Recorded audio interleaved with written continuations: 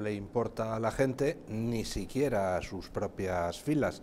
Pero lo que usted ha descrito en términos genéricos, es decir, que Yolanda Díaz con sus declaraciones ha vuelto a dejar en evidencia, porque es algo que ya sabíamos, que el gobierno era perfectamente eh, consciente antes del 8M del peligro,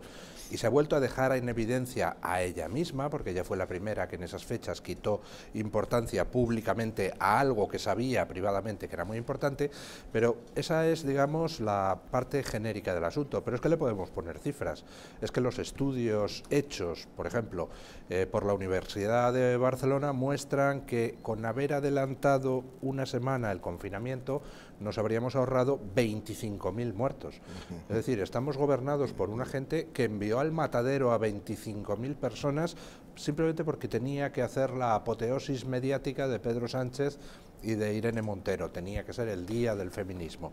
Eh, era esa época donde se estaban tramitando o anunciando diversas leyes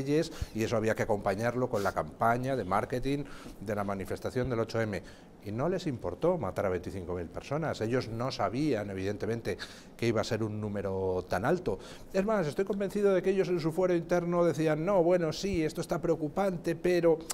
en fin, seguro que no pasa nada, porque todo aquel que antepone sus intereses a mm, lo que es la hacienda y la vida de los demás, pues se autoconvence a sí mismo de que ah, seguro que esto no va a pasar. Pero oiga, eso es como el arquitecto que dice, nah, si quito aquí unos saquitos de cemento, pues tampoco se va a caer el edificio, ¿no? Eh, pues mire usted, los edificios se caen por quitar unos saquitos de cemento y el que usted creyera que no se iba a caer no le eximen ni de responsabilidad civil ni penal. Y yo, la pena es que... Eh,